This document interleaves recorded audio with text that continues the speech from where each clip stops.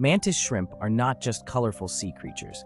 They possess one of the most extraordinary visual systems in the animal kingdom. Their eyes are made up of 16 photoreceptors, compared to the mere three in humans.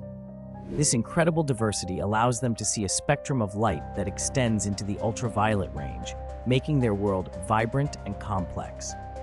Mantis shrimp can detect polarized light, a feature that enhances their ability to see through murky waters and spot prey or predators. What's even more fascinating is how their eyes are structured. They have trinocular vision, meaning they can gauge depth using each eye separately. This is something humans and many other animals cannot do to the same degree.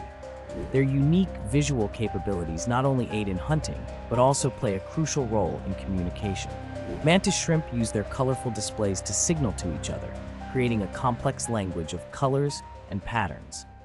By studying these remarkable creatures, scientists can unlock secrets of visual processing that may inspire advancements in optics and imaging technologies.